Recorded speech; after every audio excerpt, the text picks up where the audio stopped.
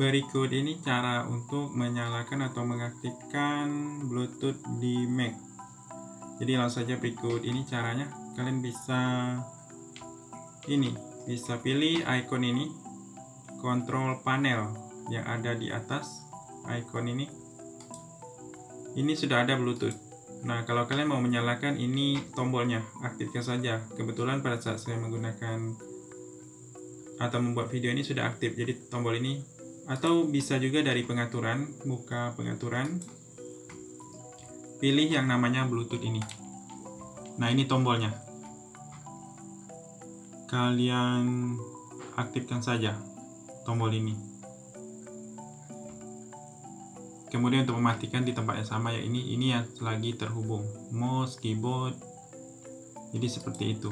Sangat mudah bagi kalian yang ingin mengaktifkan bluetooth